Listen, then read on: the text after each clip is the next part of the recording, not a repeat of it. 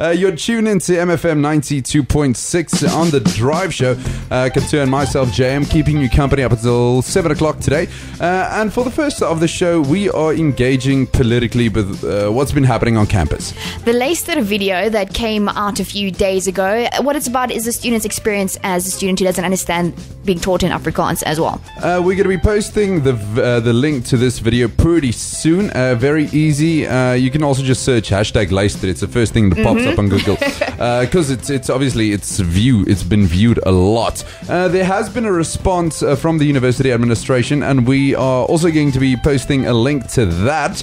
Uh, but we still want to know what you have to say about this. You can tweet us at MFM96, send an SMS to double four nine two six, or as we've said previously, you can mail us at studio at mfm.sun.ac.za. Uh, so we want to know what you have to say. Hello. Hi German Tattoo, dankie dat ek jou opinieur kan lewe. Ek dink eers as ek net agneem dat dit definitief 'n baie baie moeilike onderwerp is en nog 'n baie daar's baie klein kans dat dit jy mense gelukkig gaan kan hou aan albei kante want albei kante het ehm um, meriete vir hulle saak wat hulle stel.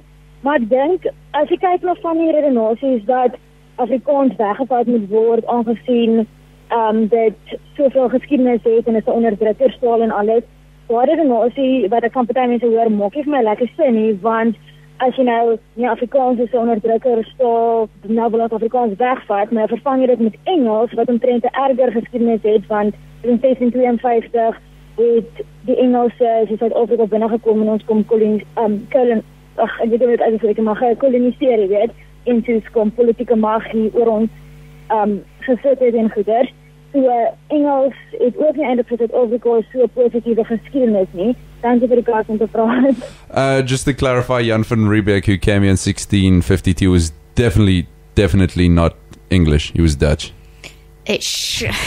Hey, what do you have to say to us? Hey guys, uh, my name is Bongimpilo Montane. Well, uh, I think that the language policy should change uh, so that it uh, benefits uh, most people in society. I mean, this is a public institution, and therefore it should take uh, societal interest to consideration. And I think since English is the medium, I mean, majority of, of, of, of our South African students do do English at some point, and I think English would serve a much better purpose, in my opinion, and would serve a lot more people.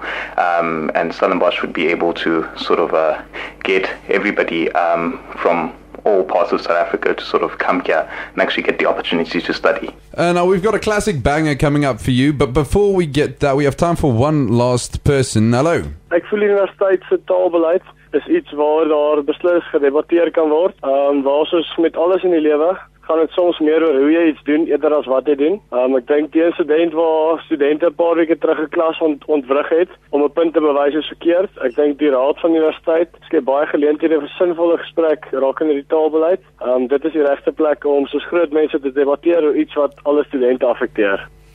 Give your opinion, please do. Uh, Adam FM 926, you can tweet us or SMS us at 44926. We are talking about the Luister video that came out, a documentary about the lives of students of color who attend Stellenbosch University in South Africa.